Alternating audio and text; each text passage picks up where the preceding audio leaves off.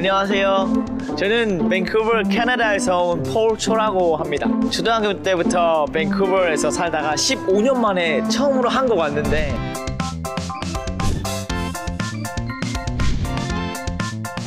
오늘 드디어 첫 출근이에요. 이 친구가 이번에 새로 들어온 영어 잘하는 친구야.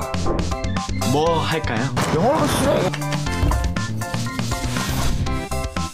밥 먹기 전에 사진 도 막 We wish to speak with the soul of Frank. Frank Shaw.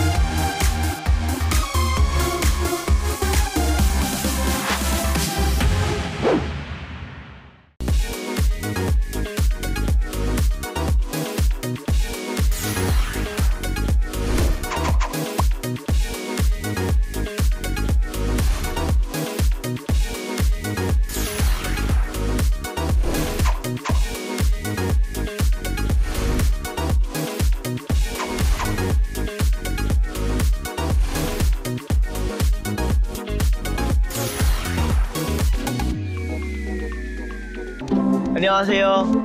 저는 밴쿠버 캐나다에서 온 폴 초라고 합니다. 초등학교 때부터 밴쿠버에서 살다가 15년 만에 처음으로 한국 왔는데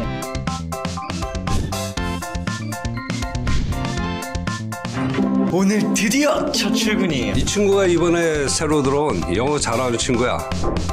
뭐 할까요? 영어로 쓰요. 밥 먹기 전에 사진 도 막